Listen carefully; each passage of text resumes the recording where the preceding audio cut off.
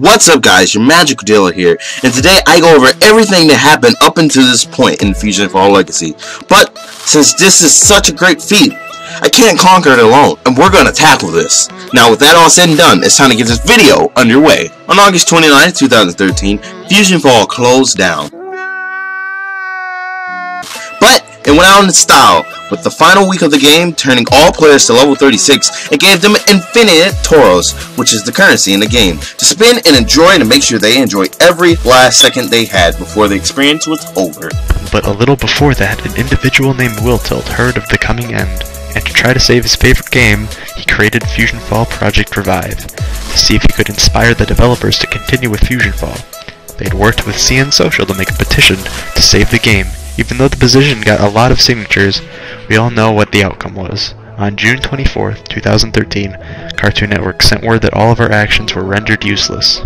On February 6, 2015, a new team arrived on the scene, the Fusion Fall Legacy team, announcing that they would remake the game. Oh my god! Okay, it's happening! Everybody stay calm! What's the Everybody procedure, everyone? What's the procedure? Stay calm! And with promises of a demo coming on February 23rd.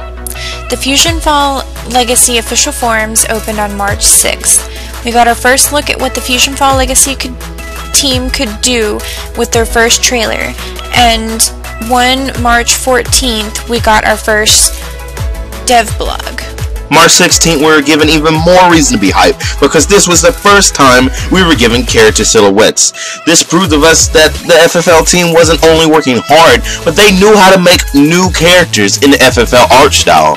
This only raised more questions because we asked, are we getting new areas, are we getting new nanos, and more characters? The hype of seeing new characters led to many people making YouTube videos such as myself, Gangster Kid 89, Ultra Faller, The Reptilians, and XBC Gamer. These guys held discussions, interviews, and analyses that helped market the game in a positive light.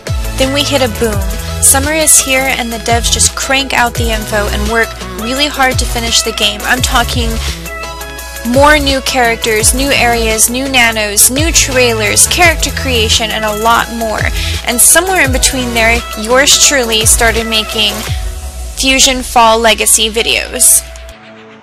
Now we're at present date, where we're only days away from a playable demo, and our minds being blown to destruction. Are you guys excited? Did you learn something new today? And as always, leave a like down below to let me know if you enjoyed this video. It always helps me out.